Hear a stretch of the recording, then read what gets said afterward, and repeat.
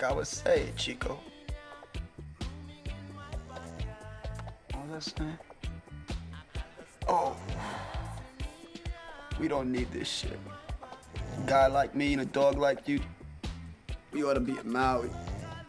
Renting jet skis to fat fucks and flower shirts.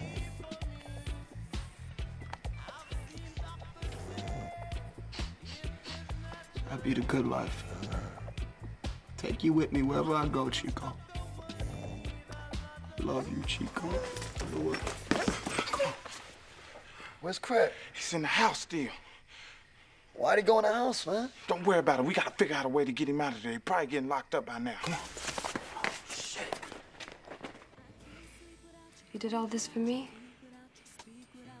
Most of it.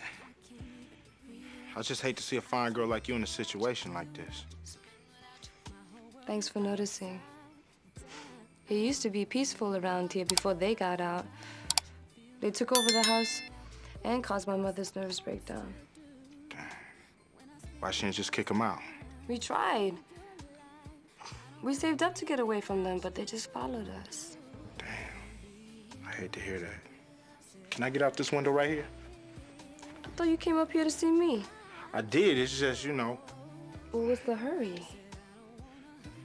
I got my cousin Day Day out here waiting on me. So what? Let's make them wait.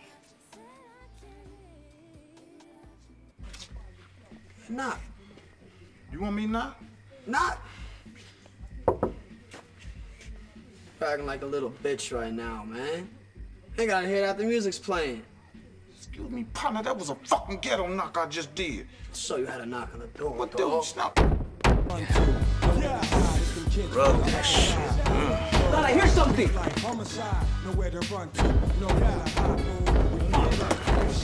Gotta do everything around here. Shit. Ruining my flow. Mm, right there. Hey, you lover boy, you hear that shit? Motherfucker, listen, you better stop. They gonna think we the police in there. Gets results. The fuck do you want? Came to borrow some sugar. Does it look like a fucking 7-Eleven to you, Holmes? Do you see that red dot on my forehead, my friend? Do you see an ATM in the corner that doesn't work? Do you? No, you don't, so fuck you, my friend. Get the fuck out of here, Day Day. You too, Slim Shady. No problem, we gone. Hold on a second. Hey, man, you ran over my skateboard. I don't appreciate that, all right? Uh, that's the bullshit, man.